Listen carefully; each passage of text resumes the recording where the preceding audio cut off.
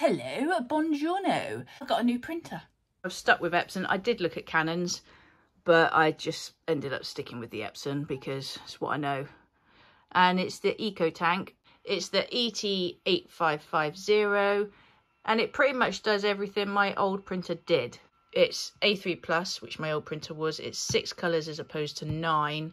And yeah, every, you know, obviously A4. It's also got a, a scanner built in, which is you know, handy. The only thing I don't think it does um, is my old printer would take a roll of canvas on the back so you could print, you know, large format, but I never ever used it. And look, that is what they say, 2,300 photos before you need to replace your ink, which is fantastic. If that works out to be true, well then that is a massive, massive difference. Um, so yeah, let's get on with setting it up and try this little new baby out and see what she does. Thank you.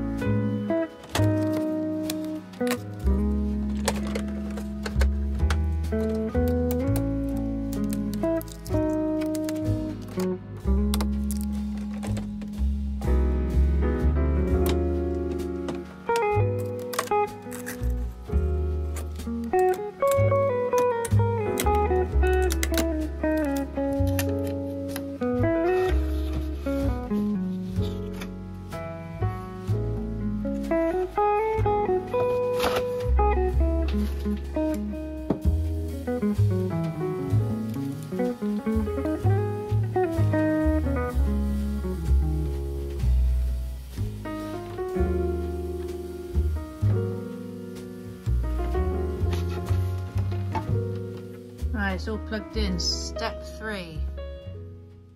Select the printer setup method. Do you have a smart device? Yes. Hold down the plus button until it flashes, then use your smart device to complete the rest of the process. So this app will interactively walk you through your product setup. Nice. Get. Tap next on the screen, make the following settings if a confirmation screen about location information is displayed. Next. Which type of home screen do you want to use? Swipe and tap the cards at the bottom of the screen to display an overview, or tap the tiled function. So, which one do I want? Go with that one, I think. Use cards. Tap here to select a product. Set up, set up a new product. Let's get started. Continue. Okay. Make sure your product is turned on. Turn this on. Ooh.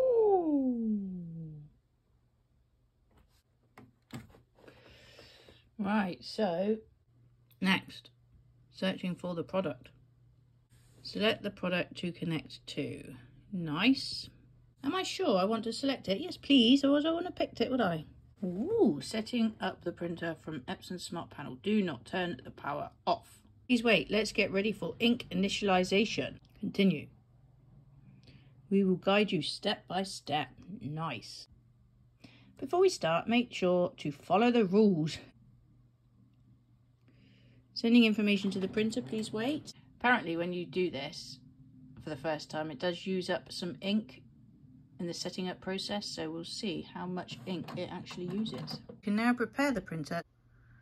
Let's start with the ink, refer to the image below and open the scanner unit, then open the ink tank cover. So this is all our steps that we've got to follow.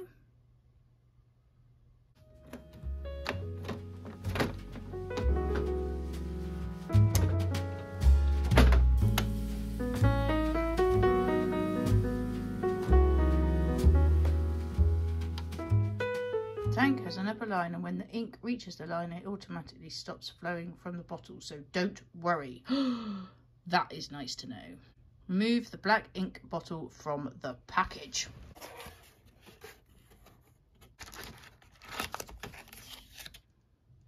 Hold the bottle ink ink bottle upright and twist the cap to remove it. Do not touch the top of the ink bottle. Check the colour and the alignment and insert the ink bottle into the filling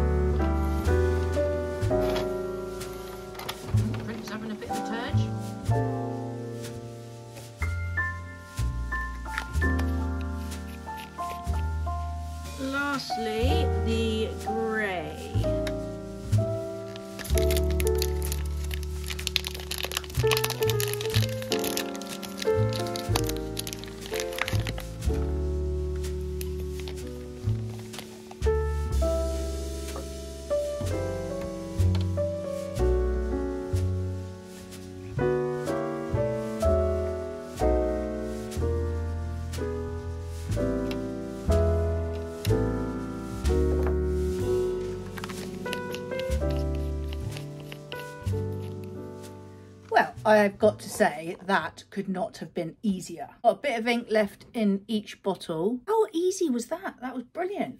Right, when you're done filling the ink tanks, check them all to be filled to the line, which they are. All of the ink tabs filled? Yes. Close the ink tank cover and the scanner unit. Be careful not to get your hands caught. okay, thank you very much. I will be very careful.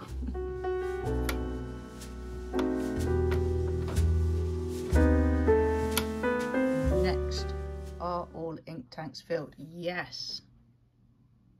Let's start ink initialization. Ooh. Ink initialization is in progress. Seemed I needed to be pressing this, so proceed. Press OK for five seconds. One, two, three, four, five. Make sure all the colour inks are filled up on the upper line. Select Start button to start ink charging. Do not load paper until initialization is complete. Start. Here we go. Seven minutes?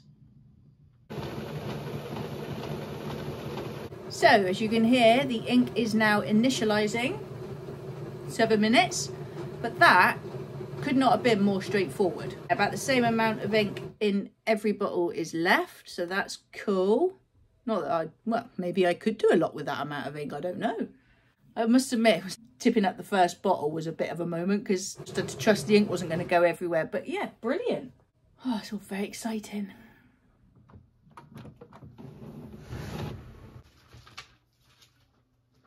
Initialization is complete. Some ink is absorbed into the maintenance box. You may see some black parts on it, but it is normal. Proceed to the print adjustment. So how much ink? Oh, I did use up quite a chunk of ink. Right. Print adjustment. Align the printer to get the best print quality. Adjust recommended. To receive a completion notice, select allow on the next screen. Should have done that as well. Should we do that quick? While the ink is initializing, let's connect the printer to the Wi-Fi. Yes, but I've got to put in my password for my Wi-Fi. And is that not the best keyboard you ever saw?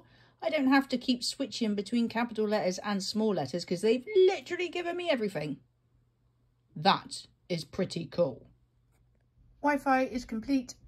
Smartphone and printer are now connected. Next.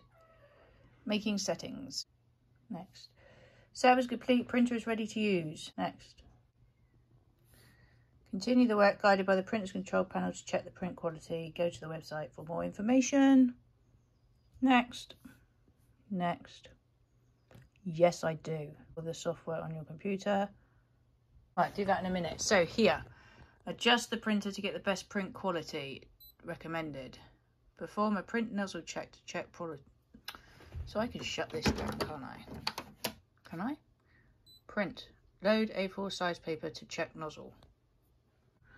Load the paper in paper cassette 2 with the printable side. So you do, you pull that out. Paper cassette 2.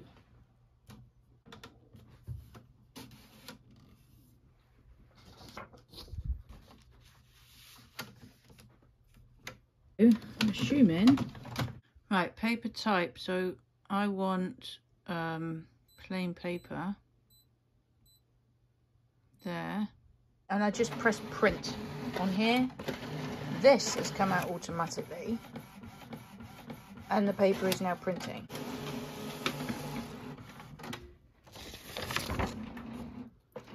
so that pattern's perfect cool how nice to get a nozzle print that actually works or comes out nicely Check the printed pattern and select the closest result, which is that one. Line print position to fix misalignment and banding. Adjust. Perform five types of alignment in order. Load six sheets of A4 size plain paper in cassette 2. Okay. So now this thing obviously stays out, does it? I'm just getting confused now because this thing's stuck out. But with this staying out, there's no way I'm going to be able to put paper in there. I can't even see what I'm doing. Why does this not go in?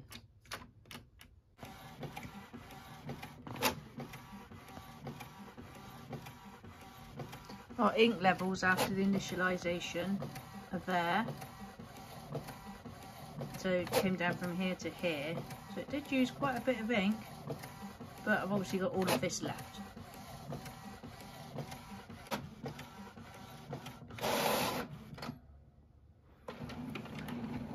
Select the pattern that shows no gap or dark line. Gap, gaps, gaps, gaps, gaps, gaps. They've all got gaps. Select the pattern that shows no gap or dark line. I'm not being funny, but they've all got gaps. There's no one solid dark line, is there? all exactly the same. Say what? I don't know if you can see this. See that little kink? There's a little kink there. Little kink there. Just right in the centre. So, kink, that one's all right. I'm going to go with flipping magnifying glass if that's what we're looking for here. I'm going to go with number five. Five, suit to number two. Oh, oh, I see. Select the pattern that shows no gap or dark line on number one. Right, I've got it. So that would be five. Right, and that's going to be five as well. So now two of ten, two of five. One. What are we going to have to do here? I think it's printing another one. So it's printed a second page as well. We've got to choose the square with the fewest streaks. Row one, column one. I'd say I'm going to go number six on that one. I've got my other printer doing something in the background, so apologies for that noise. Three, five, six. Proceed to number two. Well, again, I think that's six. Six. Right, I'm just going to do that for the rest of them, and then we'll see what we're doing next. Right, did that, and now it's printing print alignment pattern three of five. So, print. So there's the next one. Select the pattern that shows no gap or dark line. So there's one. That's got a kink in it. That's got a kink, kink, kink.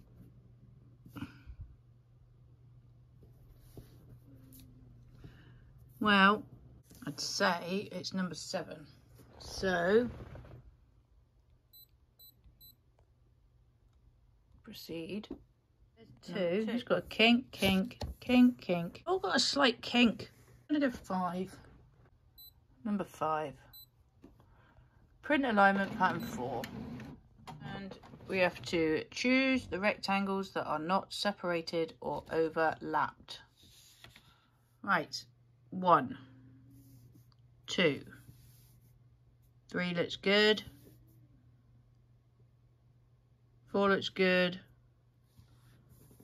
Five looks good. Six looks, well, it's got slight separation. So, you have to have flipping good eyesight, I tell you that much. Go with four. Four is already selected. Proceed. Print alignment pattern. Five of five. Thank the Lord. Two, no. Three, I can see a line. Four, better. Five, I can see a faint line. So I'm going with number four again. Selected. Proceed. Print alignment complete. You can adjust again from the maintenance.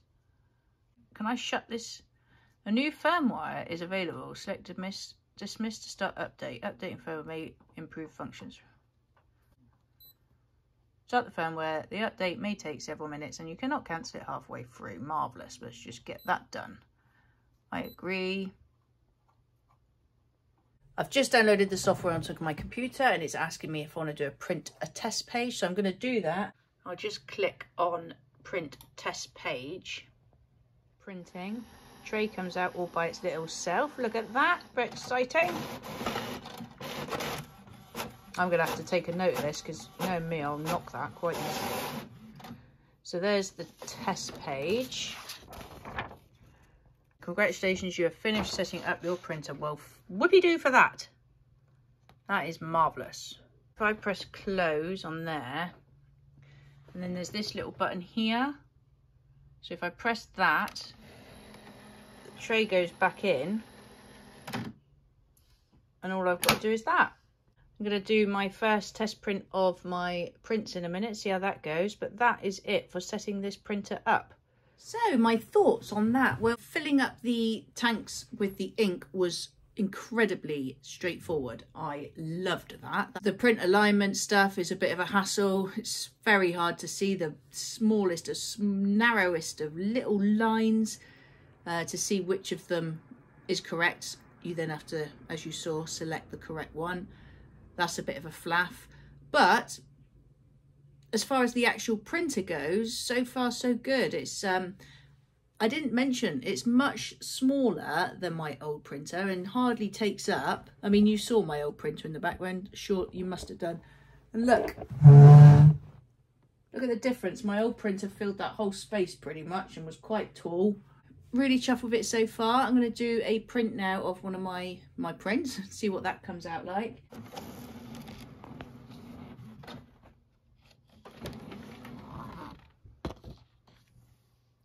Whoa. So that is my print out of the new printer.